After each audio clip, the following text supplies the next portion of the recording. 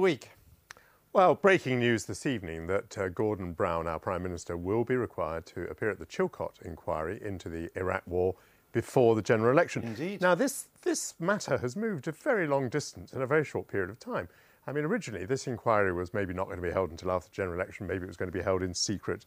Uh, maybe Tony Blair could give his evidence in secret. Now, we're going to have two prime ministers giving evidence in public before a general election. And this week we've seen Geoff Hoon, who was the Defence Secretary, we've seen Jack Straw, who was the Foreign Secretary. And uh, in their evidence, I would say the metaphor about rats and a sinking ship uh, pretty much came to, to my mind. I understand why it did, but I tell you, the fact that Mr. Brown has volunteered, as I understand it, not being dragoon, volunteered Correct. to appear before the election, suggests to me a growing confidence in the Prime Minister. Well, I. I would say that this thing was going to be drawn out and drawn out, and the issue was going to be the non appearance of Gordon Brown. So I think he makes a correct political choice that it is better to have him appear mm. and to close off the issue about why he won't appear. But nonetheless, I do think these hearings are pretty bad news for the government. And we will talk more about them in a few moments. Diane, your moment.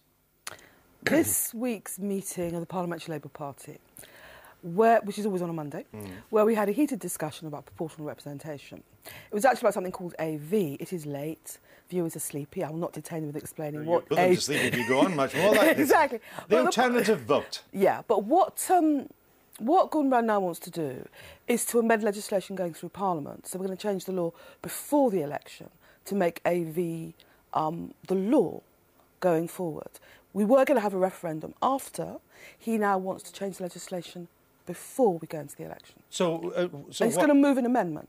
So we wouldn't have a new electoral system for this election. No. But an, an incoming Conservative government would have to amend a law that already existed. That's so, the idea. So after the next election, we would have AV? No. After the next election, we, the, an incoming Conservative government would be committed to a referendum on AV. Mm. Oh. But anyway, we had a heated discussion. The majority of people in the meeting were against it. The majority of MPs are against it. The Labour Party has never discussed it. There is no enthusiasm on the doorstep for this, but they seem to think they can ram it through with Lib Dem votes. I, I mean, it, it seems to me pretty lethal to the Tories. So why are so many of you against it? Well, no, we think it was argue, well. People argue that it will unite the Lib Dems because they love PR. Mm-hmm. It will unite the Tories because they're against PR, right. and it will split and, us and three ways. Divide Labour. Yeah. Okay. That's why we don't like it. Before anybody else switches off, can I move on? yes. now, a